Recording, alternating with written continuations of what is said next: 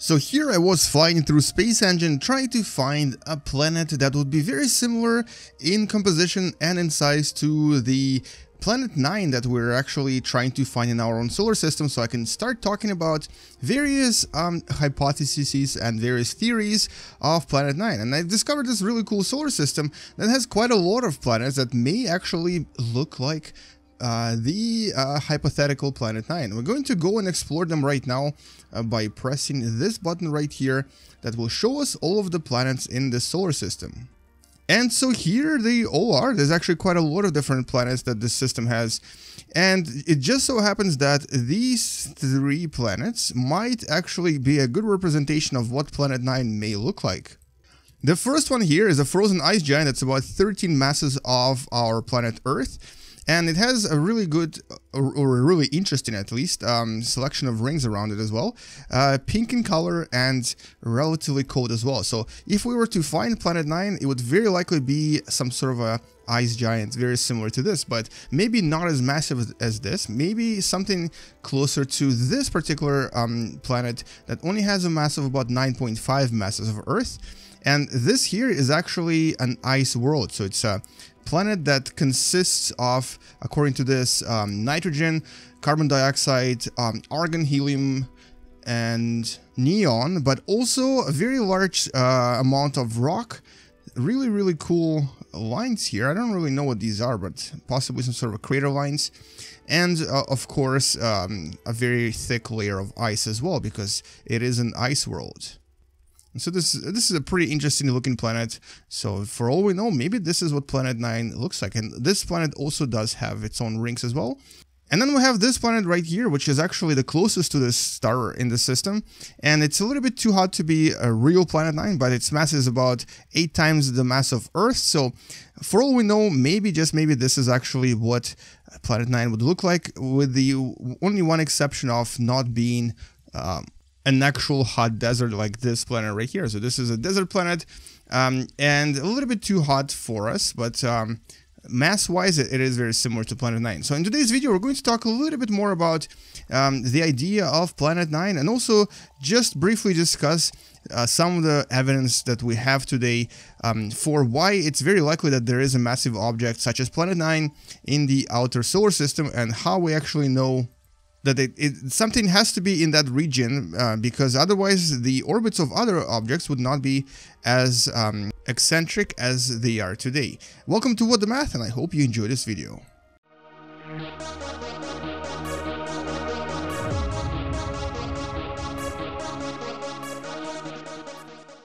And so what we're going to do is we're going to use Universe Sandbox 2 to answer a few questions. And specifically, first question is going to be, so how far away would Planet 9 be from our Earth if it was actually found and discovered and if it actually does exist somewhere out there. And the second question is going to be, um, so what is actually the evidence that we know or have today and uh, we're going to use one of the simulations here to try to basically find out what happens if there is no Planet 9 and what happens to some of the objects in the solar system. So first of all, let's talk about the distance. Now imagine um, we're actually going to use a, a, bit of an analogy here. Imagine the distance between Earth and the Moon was about uh, 10 meters. Let's just say that um, on the scale of uh, something that you can kind of understand, from Earth to the Moon, it's about 10 meters. So this is about, uh, or 30 feet that is. So that's about the distance from, let's just say, if I were to go down to my fridge and come back uh, with something from my fridge, I would probably walk about 10 meters. All right, so that's that's a good analogy, I think. And let's uh, now zoom out a little bit and talk about the distances between Earth and the Sun. This is known as astronomical unit. And if we use the same analogy, so here the distance between Earth and the Sun would be approximately 5,000 meters or about 15,000 feet. And this is basically the uh, so-called 5K. So if you ever uh, went running 5,000 meters or 15,000 feet, uh, or basically uh, about 3 point something miles, 3.5 miles. Um, this is essentially the distance from Earth to Sun using the same analogy. And for me personally, 5, 5k takes about an hour to run, so if, uh, if it takes me just a, about a minute to go from Earth to the Moon to get a drink from my fridge, uh, from here to here, running would take me about an hour. And so that's a, one astronomical unit. Now we're going to zoom out, quite a lot as a matter of fact, and place a hypothetical planet. Actually, we're just going to generate um, a random gas giant at a distance of approximately 600-ish astronomical units. This is an average distance um, that we speculate uh, Planet 9 might have. It, it goes down to about maybe 300 astronomical units, but it can go up to about 1200 because its orbit is relatively um, eccentric. And so let's just say that this is our Planet 9 right here, and over there we can kind of see the rest of the solar system. Now, how far away is this from, from us and from the Sun? If uh, walking to the fridge and back represented the moon and if doing 5k represented the distance to the sun then the distance from from the center of the uh, solar system to planet 9 would be equivalent of about 3000 kilometers or about uh, 2000 miles which is basically distance from like New York City to Mexico City. That's how far away this would be in comparison to everything else um, in our solar system. So it's actually really, really far, which is why it's so hard for us to see it and which is why it's so hard for us to find where this planet is. Alright, so that's the distance. So Let's actually go into different simulation here, and here we're going to go into the evidence for a ninth planet. This actually shows us uh, the hypothetical orbit for where Planet 9 might be, and uh, also showed us the orbits of other dwarf planets here and essentially the reason for why we think Planet 9 might be out there, because their orbits are very, very elliptical, and they're elliptical in a very specific way.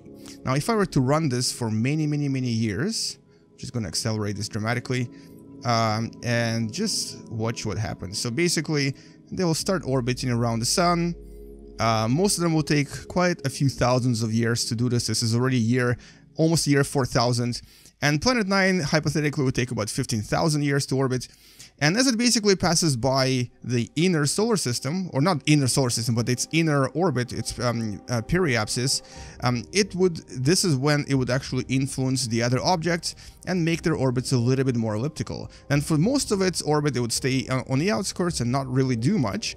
But because right here, right in this sort of section, it has, uh, due to its mass, and its mass would be about 10 times mass of Earth, um, it would actually start influencing a lot of these uh, dwarf planets and make their orbit a little bit more elliptical. And so this is actually why we think there is Planet 9. And what I wanted to see is, well, first of all, let's let's see what happens if we actually make the mass of this planet even more massive. Let's actually change it to like, I don't know, five times mass of Jupiter. And let's see if the orbits go even more extreme.